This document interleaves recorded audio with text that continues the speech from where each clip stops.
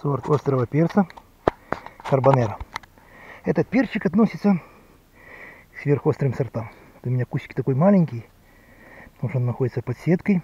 Так высота такого кустика может достигать до метра. Если в теплицах, то может быть и выше. У меня сейчас где-то сантиметров, наверное, сантиметров 25. Вот такие вот перчики. Острота у них от 250 до 350 тысяч сковелей на вкус. Этот перец такой же, как и хабанера, только более выражен у него аромат цитрусовых.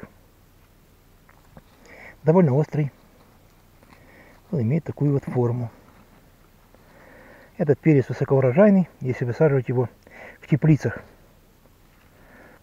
Срок созревания у него 120 дней. Если выращивать этот перчик у себя на подоконнике, кустик будет невысокий. Вот сантиметров где-то 25-30.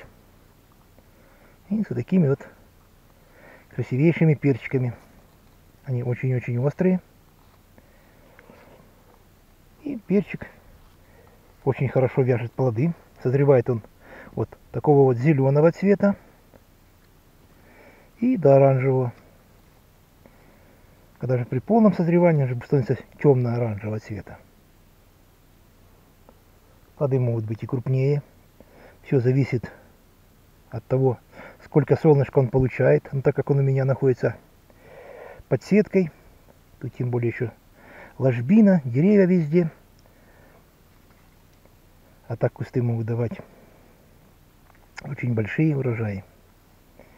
Советую вам такой перчик выращивать у себя дома. Подписывайтесь на наш канал, ставьте палец вверх, жмите на колокольчик, чтобы не пропустить новые видеообзоры.